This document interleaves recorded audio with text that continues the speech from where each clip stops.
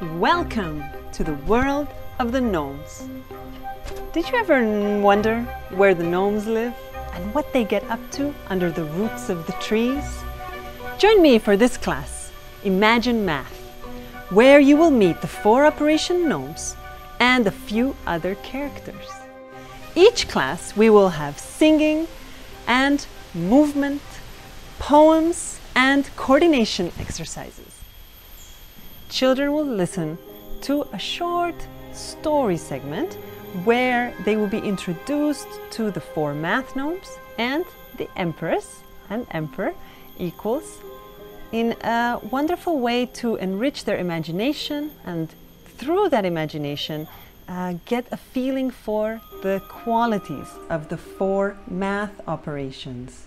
From these stories, we will be able to have word problems and uh, practice with our numbers. So join us as we go on a little math adventure together. So this is a flex class with eight sessions.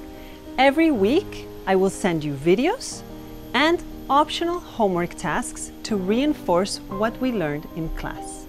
You'll be able to follow along at your own pace and at your own convenience. So join me for a way to imagine math.